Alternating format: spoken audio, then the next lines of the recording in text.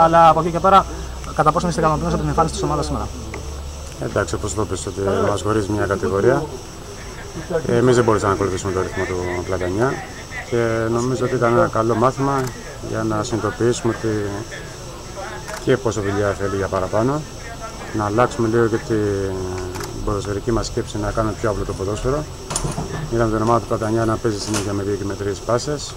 Γρήγορο, απλό ποδόσφαιρο. Ε, Εμείς, μάλλον επηρεασμένοι από τα προηγούμενα φιλικά που ήταν πιο εύκολη επικράτηση, νομίζαμε ότι μπορούμε να την ταλαιπωρήσουμε την μπάλα και νομίζω ότι αυτό το πληρώσαμε και μετά που δεχτήκαμε, δύο από τον άξονα, δύο πλαγιοκοπήσεις.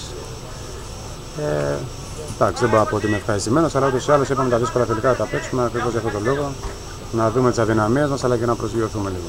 Το γεγονός ότι για το